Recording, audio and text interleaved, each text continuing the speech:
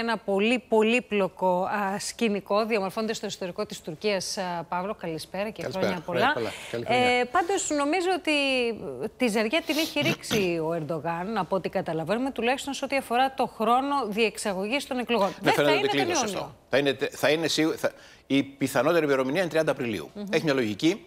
Ε, πρώτον, όλες αυτές τις παροχές που δίνει, αυτά τα τρελά λεφτά που μοιράζει. Που αυγατίζουν κιόλας. Δηλαδή από 25% η αύξηση. Την χθες έκανε 30. σήμερα πήγε 30. Ε, relax. εντάξει, ναι.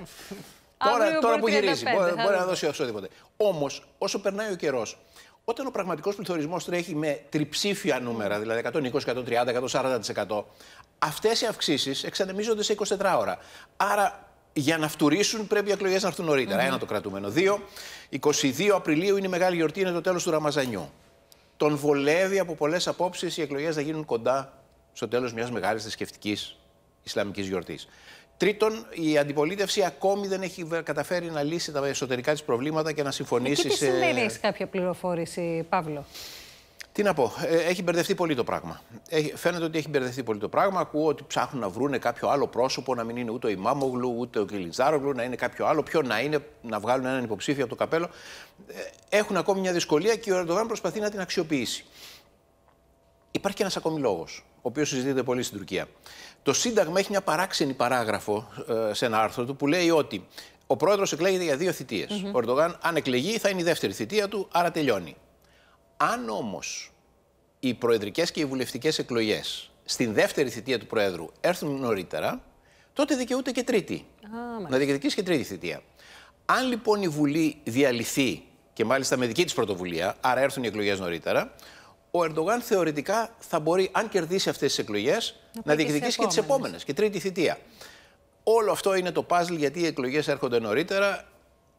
Το θέμα είναι ότι αν η αντιπολίτευση δεν καταφέρει να βρει βηματισμό και υποψήφιο ικανό να αντιπαρατεθεί στον Ερντογάν, παρόλα αυτά ο Ερντογάν θα καταφέρει να τις κερδίσει και θα κάνει τα πάντα για να τις κερδίσει.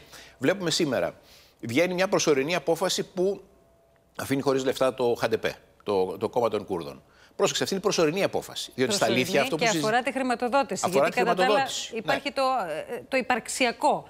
που αφορά εκκρεμεί, το γιατί ΧΑΤΠ. αυτό είναι προδικαστική απόφαση στο δικαστήριο που πάει για πλήρη απαγόρευση αυτού του κόμματος. Ναι. Τρίτο κόμμα σε να το δύναμη κλείσουν. στην Το τρίτο Τουρκία. κόμμα στη Βουλή. Ναι, να το κλείσουν τελείως, να το απαγορεύσουν. Σήμερα κάνουν νέα δίωξη στον Δήμαρχο της Κωνσταντινούπολης, το φίλο μας τον Ιμάμογλου. Τον κατηγορούν ότι προσέλαβε χίλια κάτι άτομα τα οποία είναι ύποπτα για σχέσεις με τρομοκράτες. Δηλαδή απλώς είναι κουρδικής καταγωγής. Ναι.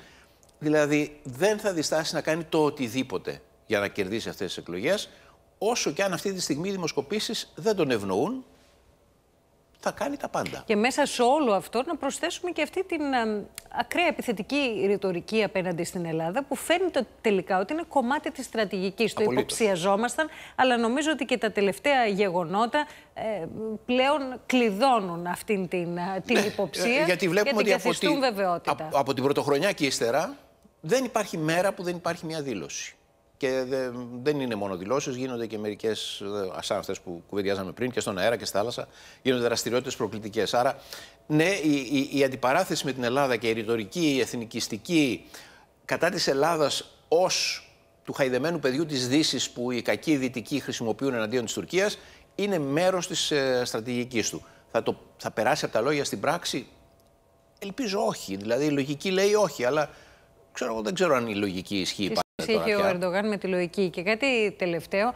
Ε, φο- υπάρχει ενδεχόμενο και για κάποιο ατύχημα στην οικονομία να, να, να σκοντάψει στον δρόμο ο Ερντογάν; Γιατί είδαμε σήμερα αυτέ αυτές τις βουτιές, απανοτές βουτιές στο χρηματιστήριο, γιατί λειτουργήσε ο κόφτης, ε, αφέθηκε, Ναι. ξαναβούτυξε, ξαναλειτουργήσε ο κόφτης.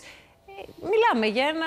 Ε, αυτό είναι ένας ακόμη λόγος να φέρει τις εκλογές νωρίτερα. Θα τις κάνει 30 Απριλίου με την ελπίδα ότι είναι πολύ λίγο μικρό το χρονικό διάστημα ώστε να, να συμβεί οτιδήποτε που να μην μπορεί να το ελέγξει. Ε, Διότι δεν υπάρχει ανεξάρτητη κεντρική τράπεζα στην Τουρκία.